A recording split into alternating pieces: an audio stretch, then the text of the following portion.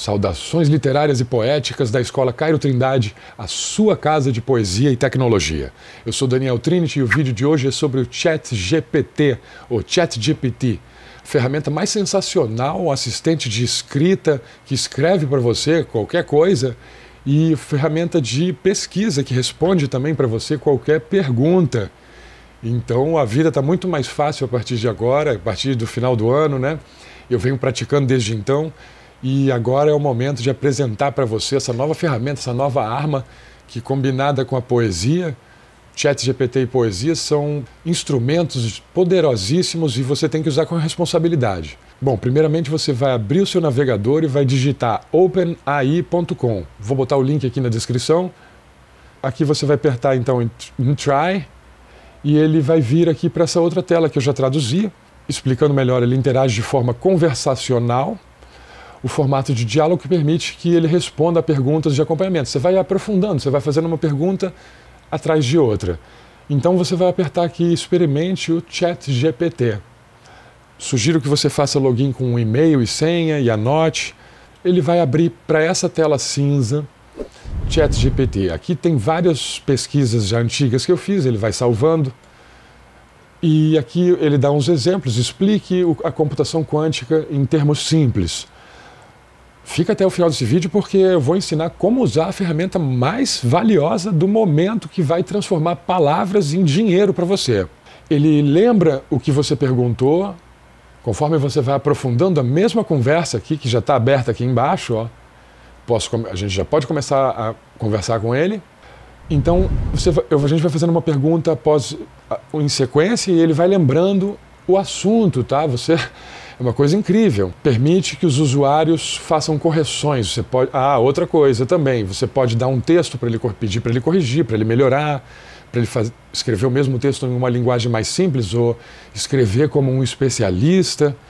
Quanto mais informações você der para ele, mais preciso ele vai ser na resposta. Isso em qualquer pergunta que você venha fazer, tá? Na área, desde na escrita poética até a consulta de coisas mais variadas possíveis ele é treinado para recusar perguntas inapropriadas. Então não, come, não pergunta besteira para ele, tá? Coisas perigosas e desde que você faz o login e vai conversando, ele vai pegando informações sobre você e traçando o seu perfil. Então todo cuidado, eleve o nível da sua conversa, tente escrever corretamente também, sem cometer muitos erros. Bom, limitações pode ocorrer uma certa informação incorreta. A inteligência artificial ainda tem algumas alucinações inventando fatos que não aconteceram. Quando você for pesquisar é, consultas jornalísticas e tal, de fatos precisos, cuidado e, confirme com outras fontes e tal.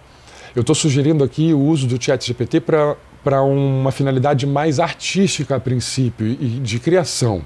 Algumas respostas malignas podem acontecer ou um conteúdo tendencioso ainda pode acontecer, tá? Tem uma base limitada de eventos que aconteceram até o ano de 2021. Minha primeira interação com ele, eu vim aqui, fiz uma pedi para ele escrever um poema para mim sobre sobre a Web3. E ele veio aqui com esse texto. Qualquer coisa você pausa aí e lê, se conseguir ler em inglês, eu pedi em inglês, tá? E ele me deu essa resposta aqui. O que que eu fiz? Vim, colei no Google Documentos, que eu uso muito, e dei a minha trabalhada. Tirei as maiúsculas, tirei a pontuação, pontos finais também limpei, vírgulas e pontuação, e maiúsculas, a primeira coisa. E depois fui tirando palavras repetidas aqui, ué, onde, onde, onde, onde, ele repetiu aqui, ó, quatro vezes nessa estrofe, começando fez uma anáfora, se é que ele sabe o que estava fazendo, eu acredito que não, que repetiu muito, um mundo onde, um mundo onde, um mundo onde. Muita anáfora mal usada. Ele não é perfeito ainda, por isso que você tem que. É só você pedir um poema, ele vai dar, mas você vai trabalhar esse poema, de preferência aqui no Google Documentos. Poema que ele me deu, e depois com a minha edição eu fui mudando umas coisinhas ou outras. Outra coisa, prompts. Agora existe uma nova profissão que é o engenheiro de prompt, né? uma nova ciência que é a engenharia de prompt. É o que você escreve para qualquer inteligência artificial, que são várias hoje em dia, de texto, imagem, de vídeo está começando. Então, quanto mais preciso você for, melhor a inteligência vai responder para você. Então eu criei esse prompt aqui, ó, me escreva um poema inteligente, separando por vírgulas cada item né, que eu quero. Sobre o chat GPT, sobre, vamos mudar, sobre a Web3. Web3 que é essa nova internet descentralizada, onde a gente tem propriedade sobre, os nosso, sobre o nosso conteúdo artístico e ganha ganha so, por isso, né? Tem o curso Criptopoeta para você saber tudo sobre o Web3, criptoativos, NFT, transformar os seus poemas em NFTs. E aqui o ChatGPT vai transformar palavras em dinheiro. Sobre o Web3 e como poetas e escritores podem se beneficiar. Tá? Aqui eu entro com algumas especificações de título, eu quero um título misterioso, sem ser óbvio. Isso é uma especificação do Cairo, do curso Eu Sou Poeta, que a gente também tem. Só você entrar no nosso site, aqui na descrição tem os links. Tem o curso Eu Sou Poeta e o curso Criptopoeta mais aprofundado, mais com a vertente de ganhar dinheiro na Web3, conhecer 20 criptopoetas, ter uma imersão na criptosfera, no mundo das criptomoedas, até saber como investir o, o dinheiro que você vai ganhar transformando seus poemas em NFTs. E o curso Eu Sou Poeta é, é do Cairo Trindade, meu pai, o fundador aqui do canal da Escola Cairo Trindade. Então a gente vai especificando mais aqui. O poema tem quatro estrofes de quatro versos, cada uma, quatro quartetos. Fala com o leitor em segunda pessoa, usa a palavra você. O poema tem rimas ricas, com classes gramaticais diferentes, linguagem jovem e íntima. E aqui todas as proibições que eu pedi para ele, não use, pega essa visão, ó, não use interjeções como ó, oh, não sei o que, ó, ó, ó, eu acho um saco paro de ler na hora, primeiro ó que eu vejo. Então, tira tudo que é ó dos seus poemas, pelo amor de Deus. Não use palavras com tio, sendo mais radical ainda, aumentativos, né? como ão, ou rima com um caminhão, com um avião também, nada disso. E aumentativos principalmente. Não use letras maiúsculas, não use vírgulas, não use pontuação, não use a palavra que, também não é bom evitar tudo que, que, que, que, que. Não use advérbios com a terminação mente, advérbios de modo, né? Então vamos pegar esse prompt, vou deixar ele na descrição do vídeo para você adaptar, inserir mais coisas, mudar. De repente você quer um haikai, quer um soneto.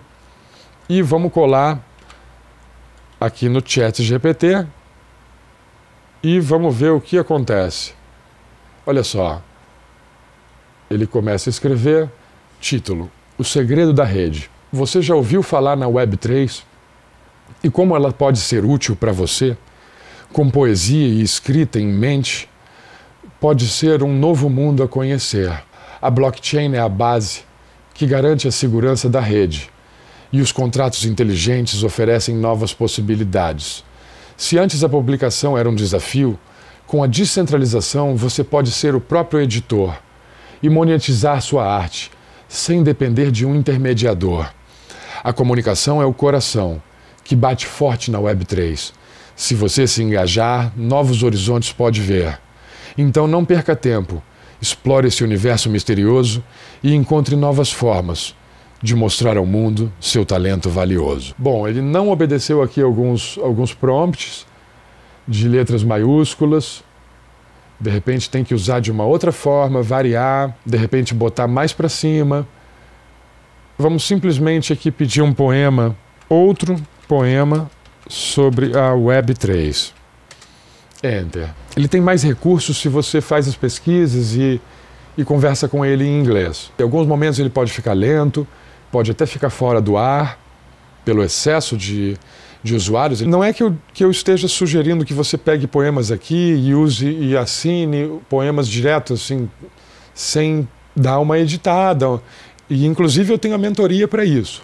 Eu presto serviço de mentoria, sessão de uma hora onde eu pego os seus textos no Google Documento, a gente conversa em, em áudio e tudo que eu vou mexendo você vai vendo na tela e aceitando ou não. Esse serviço eu faço, tá, de trabalhar os textos e nada impede também de você pegar um texto qualquer seu, em prosa ou poesia, colar aqui e pedir para ele reescrever de uma outra maneira, com um tom mais azul, mais amarelo.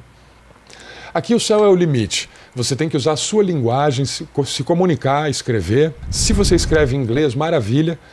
Uma outra sugestão é você escrever, usar aqui o tradutor tradutor do Google, né? Você escreve aqui em português o que você quiser, traduz para o inglês, copia e cola. Cola lá no Chat GPT. Ele vai ter mais recursos, né? A inteligência artificial é, entende melhor o inglês do que o português, embora você possa conversar também em português tranquilamente, experimentar fazer perguntas um pouco mais pessoais, perguntas loucas, sem lógica, testar a sanidade da ferramenta, Deixa eu ver esse poema como é que ficou. A nova era da conexão. Você já ouviu, ouviu falar na Web 3? A nova era da conexão, onde a tecnologia se funde com a criatividade da criação. A descentralização é a chave que abre as portas da liberdade e os contratos inteligentes são a nova forma de validade. A segurança é garantida pela blockchain imutável. E a transparência é clara em cada transação incontestável. A arte agora é livre, sem limites ou restrições, e os poetas e escritores podem ganhar sem intermediações. A Web3 é uma revolução que chegou para mudar o mundo e você pode ser parte disso. Basta embarcar nesse vagão profundo.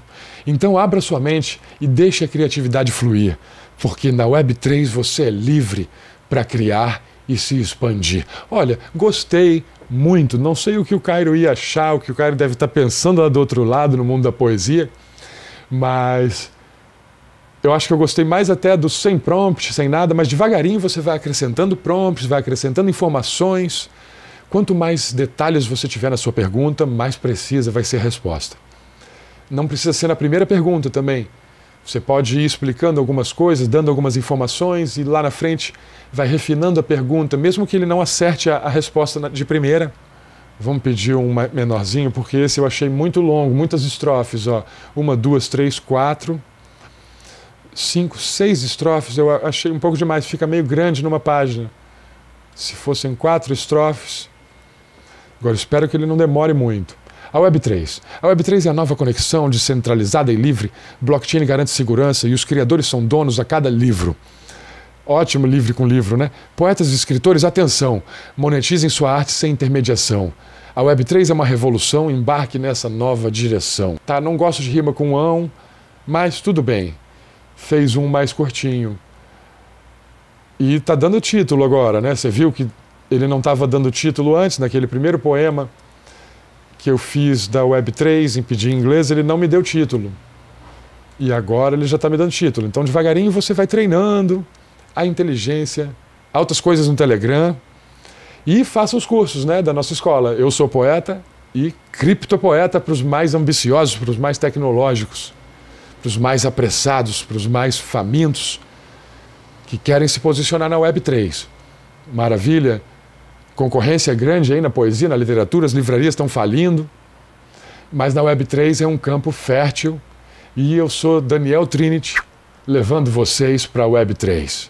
Grande abraço, até a próxima. O bom poema nasce com luz, cria asas. O bom poema põe o coração em brasa, a alma goza, papel e tinta se casam. O bom poema é o que ilumina e arrasa.